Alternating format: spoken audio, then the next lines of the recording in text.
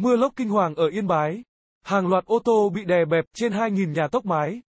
Trận mưa đá, lốc xoáy kinh hoàng tối ngày 2 tháng 3 đã khiến 4 người bị thương, gần 2.100 ngôi nhà tốc mái, hiện huyện Yên Bình, Trấn Yên và thành phố Yên Bái đang mất điện.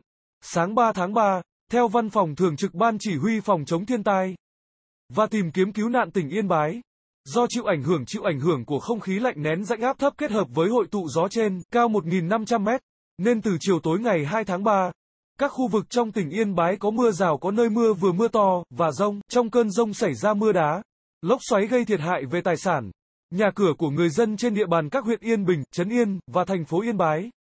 Nhiều cây cổ thụ cũng bị lốc xoáy đánh bật gốc.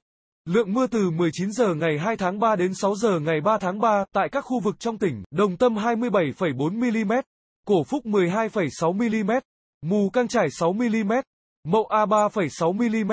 Theo báo cáo nhanh của Ban Chỉ huy Phó Chủ tịch, Tề thiết cách các huyện, thị xã, thành phố trong đợt mưa lốc tối ngày 2 tháng 3 năm 2020 thì có các huyện Yên Bình, Trấn Yên và thành phố Yên Bái bị ảnh hưởng và có thiệt hại.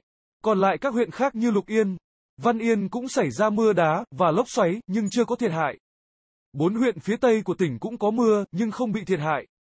Mưa đá khiến bốn người ở Yên Bái bị thương, gần 2.100 ngôi nhà bị tốc mái, 23 cột điện thành phố Yên Bái bị đổ, hơn 2.000 cây xanh bị đổ do mưa đá kèm rông lốc. Thành phố Yên Bái có 5 trường học bị hư hỏng mái, một trường tiểu học giới phiên bị đổ cổng trường, 10 trường bị hư hỏng đồ dùng học tập, 7 xe ô tô bị cây đè hư hỏng, một nhà xưởng chế biên gỗ ép ở Văn Phú bị sập. Một nhà thể thao của Sở Văn hóa Thể thao và Du lịch bị tốc mái hư hỏng, ước tính thiệt hại khoảng hàng chục tỷ đồng. Hãy để lại bình luận của bạn. Nó sẽ giúp ích những người xem khác. Trân trọng cảm ơn quý vị và các bạn đã quan tâm theo dõi. Xin hãy cho một lượt thích, chia sẻ và đừng quên bấm nút theo dõi kênh Xin chào và hẹn gặp lại.